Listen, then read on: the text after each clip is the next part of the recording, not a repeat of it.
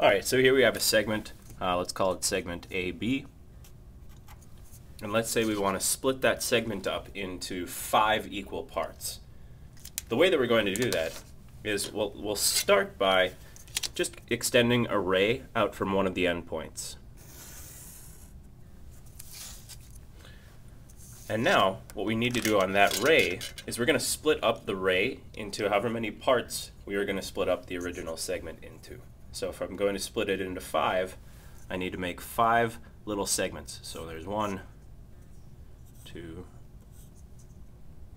three, four, and five.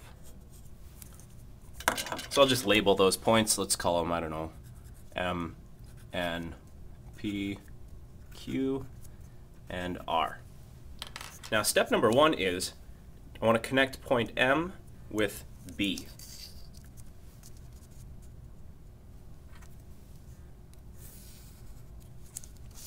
And now to split up AB into five parts, we're going to copy this line. We're going to make a line parallel through N, parallel through P, parallel through Q, and R.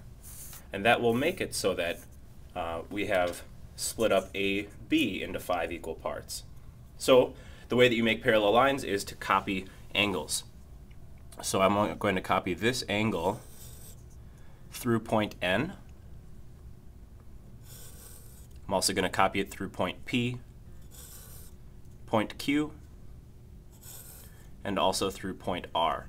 Now that last one's going to be a little bit goofy because it crosses through the line, but we'll get there.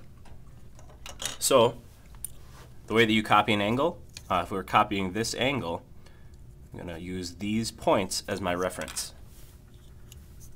So measure out that distance, and then I'm going to slide down to the arc that I created, to this other arc, to this other arc, and to this last arc. It's going to be a little bit kind of weird to find where they intersect. And now each of those intersection points, maybe I'll just darken them in. Intersection, intersection, intersection. Now each of those I'm going to connect and to make the line. So point N to that intersection,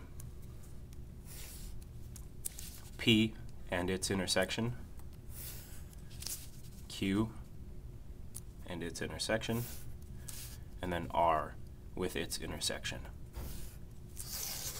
And so that, those lines split up AB, and it splits it up into five equal parts. There we go.